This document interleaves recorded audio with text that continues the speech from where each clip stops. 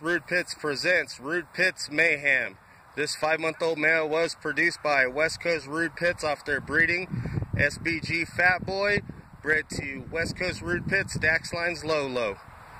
Now, this is a Bullseye son bred to a Dax daughter.